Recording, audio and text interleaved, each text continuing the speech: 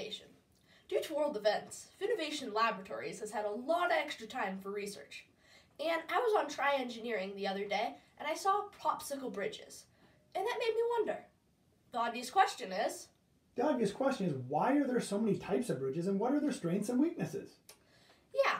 So in this video, we'll be showing you how to make a really cool popsicle bridge and explaining the principles and the strengths and weaknesses behind different types of bridges. Let's get into it. Okay, so what I'm going to be doing is I'm kind of going to be building a combination between all three of those bridges. So I'm going to be using popsicle sticks, um, obviously as my main thing. I'm going to be using some um, wood snippers. These are going to help me cut off the end or cut them in half or whatever. Um, I'm not just using scissors because a lot of times when you use scissors, they crack more than they cut. And I'll be using a glue gun. This will be my base for um, like how far I'm gonna make the bridge. It's gonna be 14 inches. And I might need to make this a little bit taller. I might need to make it shorter. I don't know, but let's get into it.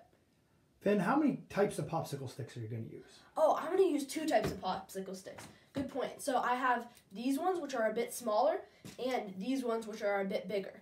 So I'm gonna be using them in combination. I might use these for the triangles because triangles are great shapes for this. And I'm gonna be using the regular ones for just a platform going across.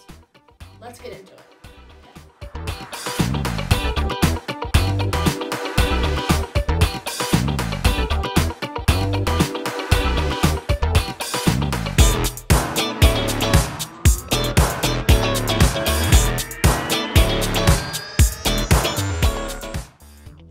Okay, so we just completed our bridge and it looks pretty great. So how we built this was we had a beam just going across there that we made with some popsicle sticks going this way. We covered it up with a few more popsicle sticks.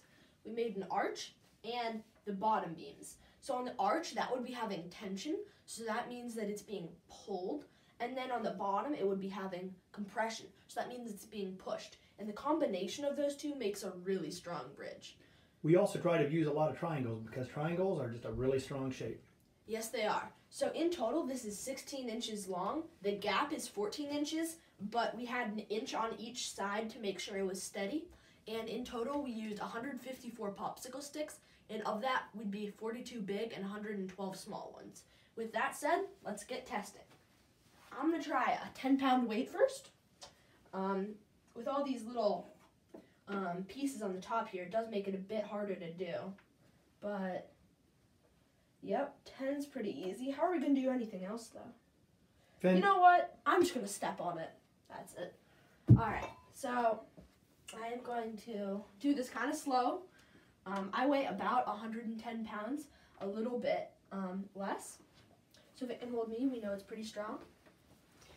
My dad here is going to help me stand.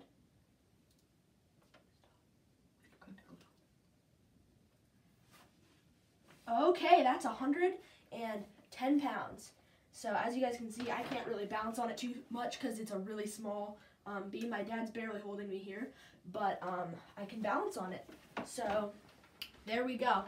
I say that's a pretty strong bridge. Wow, I cannot believe that that bridge held me. That's crazy. bridge, Finn, that actually reminds me of a documentary I saw on TV. Really? Yeah, it was very suspenseful. that's funny. It- it- no, really, it was. It was suspenseful. Well, it, it, it's kind of funny because like suspense and bridge, like whatever. Thank you so much for watching. If you enjoyed this video, hit that like button down below and subscribe. Thanks for watching. Bye.